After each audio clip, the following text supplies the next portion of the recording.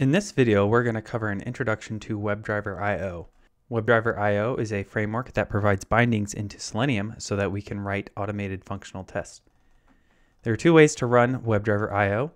One is through a normal node script.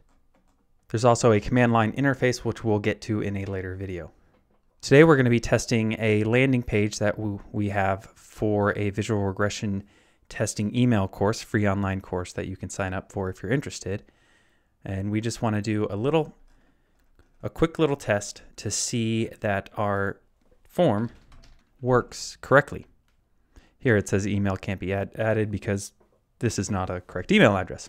But this is what we want to test, that when we enter the email into the form, it takes us to this page.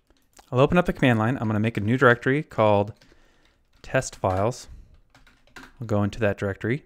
And then the first thing I'll do is initialize a new npm repo so that we can save our package dependencies. Now that we have our npm module set up, the next thing we'll do is install WebDriver.io. I'm going to save it as a dependency, a dev dependency, so that if we want to install this same folder on another computer, it will get automatically installed. I'm also going to install another package called Selenium Standalone, and this will provide us a way to run a Selenium server locally. I'm going to install it globally so that we uh, can run it from the command line. There are other options for uh, not installing it globally that we can run through WebDriver IO, and we'll get into that in a later video.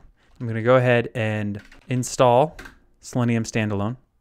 So it downloads the Selenium WebDriver or the the Selenium servers that we need and the Chrome driver that we need as well and then I will start Selenium standalone so that we have a Selenium server up and running so that WebDriver IO can use it.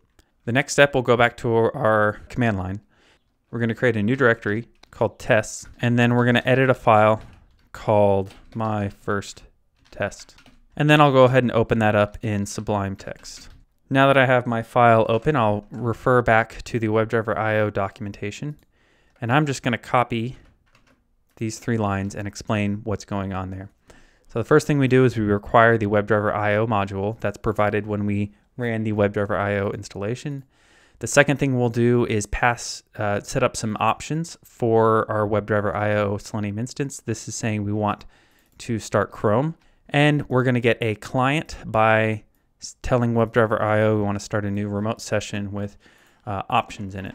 If we refer back to the documentation, you see the client needs to initialize itself. Here it's going to go to a URL, which is different from the one we want to go to. It's going to set a value in the search.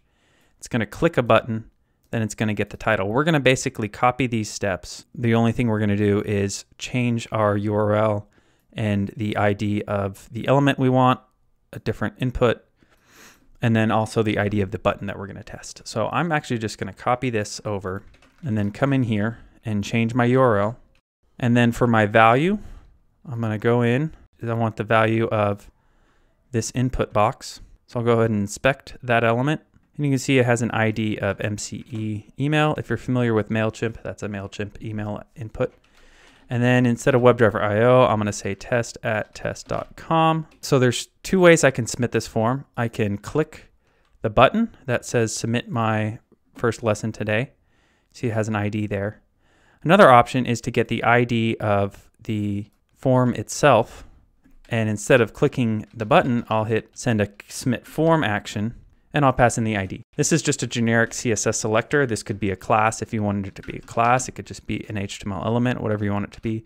We're going to stick with IDs because they're very useful because um, IDs don't change that often. We don't have to wait for the page to reload here. WebDriver IO is smart enough to figure that out for you. It isn't going to output that uh, title though, so we'll see what this title is. Okay, so now I have my test. The next thing I do is I go back into my terminal and I run my test. So you can see my title is Learn Visual Regression Testing with WebDriver IO.